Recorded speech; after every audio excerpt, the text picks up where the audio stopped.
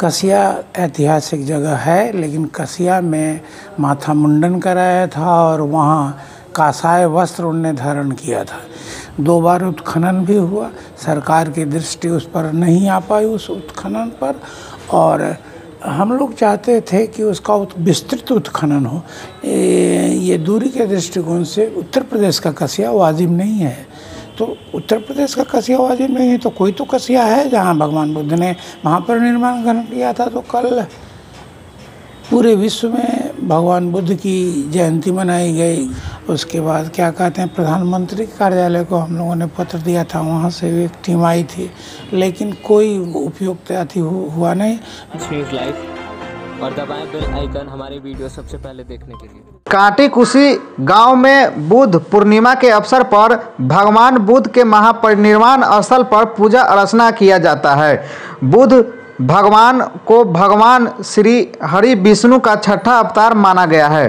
बुद्ध भगवान का महापरिनिर्वाण स्थल उत्तर प्रदेश का कसिया नहीं, कांटी का कुशी गाँव होने का दावा कई इतिहासकार द्वारा तथ्यों के साथ बताया गया है। इस स्थल पर कई इतिहासकारों ने किताब भी लिखी है। बताया जाता है, इस स्थल पर खुदाई में भगवान बुद्ध के महापरिनिर्वाण स्थल से जुड़े होने का दावा और अधिक मज़बूत हुआ था। इस स्थल को लेकर पहचान मिल सके। इसको लेकर पूर्व केंद्रीय मंत्री स्वर्गीय रघुवंश बाबू ने अथक प्रयास किया था। हाल के दिनों में मुजफ्फरपुर और वैशाली लोकसभा क्षेत्र के सांसद बीना देवी ने भी मामला को सदन में बताया था लेकिन केंद्र और राज्य सरकार के ध्यान अब तक इस स्थल पर नहीं पड़ी। सर मनाता है और अभी तक किस लिए नहीं मिल पाया? भगवान बुद्ध को लेके परिनिर्वाण स्थल की चर्चा बार बार होती रही है कि कुशी में भगवान बुद्ध ने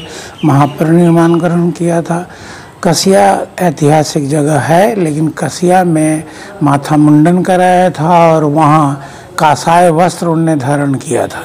तो कुर्सी को लेके उन्नीस से लोगों की लड़ाई चल रही है। परमानंद शास्त्री, जो चुटकुलानंद शास्त्री के नाम से लिखते थे आर्यावर्त में सूर्यदेव ठाकुर, इन लोगों ने उन्नीस सौ बासठ से ही ये लड़ाई शुरू की और लड़ाई लगातार चलती रही।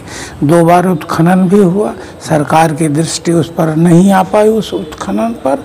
और हम लोग चाहते थे कि उसका विस्तृत उत्खनन हो, लेकिन वहाँ से जो सर्व अथी उत्खनन करने वाले आए उन्हें एक निश्चित दिशा और एक छोटी सी जगह का उत्खनन किया, जबकि वो जगह 22 एकड़ में फैली हुई है। समझे ना? वो अधिक में ये दूरी के दृष्टिकोण से बी एस स्मिथ ने कहा था कि ये दूरी के दृष्टिकोण से उत्तर प्रदेश का कसिया वाजिब नहीं है। तो उत्तर प्रदेश का कसिया वाजिब नहीं है तो कोई तो कसिया है जहाँ भगवान बुद्ध ने वहाँ पर निर्माण ग्रहण किया था तो कल पूरे विश्व में भगवान बुद्ध की जयंती मनाई गई ज्ञान तिथि मनाई गई महापरिनिर्वाण कुछ चूँकि महापरिनिर्वाण स्थल है इसलिए वहाँ महापरिनिर्वाण बाबू ने भी आवाज़ उठाया रघुवंश बाबू मैंने तत्कालीन कलेक्टर जब 2003 में खुदाई हुई थी तत्कालीन कलेक्टर रघुवंश बाबू उसके बाद क्या कहते हैं प्रधानमंत्री कार्यालय को हम लोगों ने पत्र दिया था वहाँ से एक टीम आई थी लेकिन कोई उपयुक्त अति हुआ नहीं।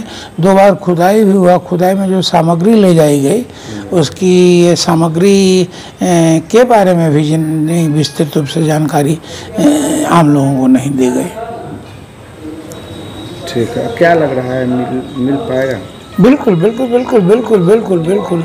वो उत्तर प्रदेश और ये क्या कहते हैं, ये वैशाली और कुशी के बीच जो जगहों का चर्चा है इतिहास में वैंसंग फाहियान ने किया, वो सारी जिसकी सारी जगहें मिल रही है यहाँ। और शोधकर्ताओं ने भी लगातार ऐसा किया है, जैसे ये एक हैं मौन जी, दूसरे सचिदानंद चौधरी, तीसरे एक विद्या चौधरी, ऐसे बहुत सारे लोगों ने इस पर